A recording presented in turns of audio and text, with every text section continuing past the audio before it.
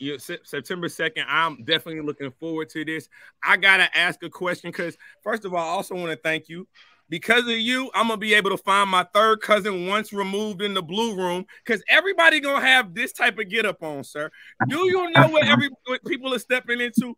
Because, again, A Ward, A Ward, you may get what you want, but you not you might not want what you get, my brother. I A Ward 3 0. A Ward 3 0. Watch your mouth, sir. Watch this. He is, he's too upset. He's too upset. Ever. He's too upset. Don't nobody care upset. about him. Hey, so what? I so, watch, so, I watch, yo, I watch, ARP, I watch look, almost, check it. Check I listen it. to almost every verb space. Verb is enjoying this too much. He's laughing. He's having a good old time. I watched that A that A one shit. All he, all, the only thing his face was missing was war paint. That's the only thing his face was missing. You could read it on his face. I said, that man is pissed off. He's putting every last ounce of talent and creativity into these rounds, and he's going to add a whole flavor of war to it.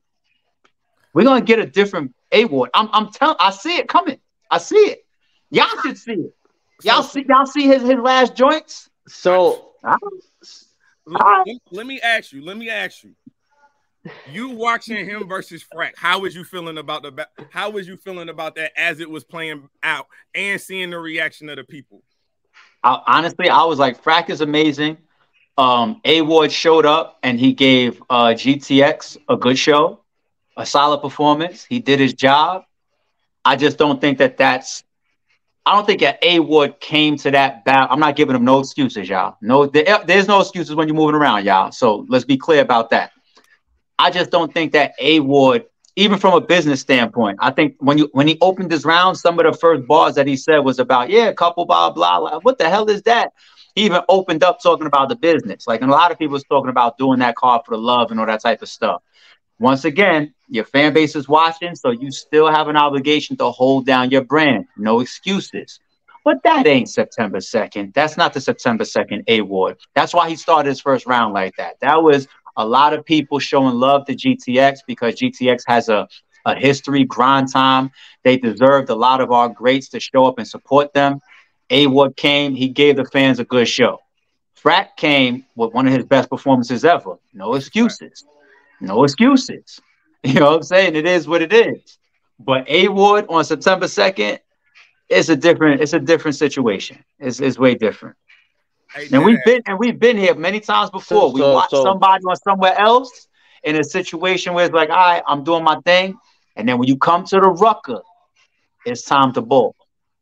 Oh yeah, that's what I'm saying. Oh yeah, and they ref different. They ref different at the ruck. Yeah, yeah, yeah. This this is this is his. I'm not just talking up RBE or September second. The history is in this. We can see QB battle 40 bars and then come to RBE and it's boom. We can see Charlie Clips battle Jazz and then come to RBE and then it's boom. It happens all the fucking time.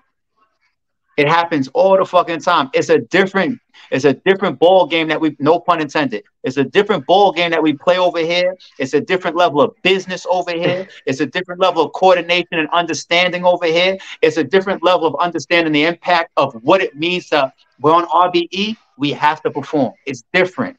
We're not coming to play. It's not for fun. This really hurts over here. The fans have a different expectation in that RBE room. This is different. This is different. It just is what it is. And I'll be and I'll be quiet about shit like this. And I let the proof be in the pudding of 10 years worth of the proof be in the pudding of fans saying consistently, eh, RBE tends to have the best battles. If we're gonna say that for fucking 10 years, there's something about the formula that's consistent. There's something about the formula. It's not, it's not 10 years worth of fucking luck. There's something about the formula. There's something going on in the rucker and this RBE atmosphere while we get to those pay per views and we get to those venues and we put the fuck on times 10.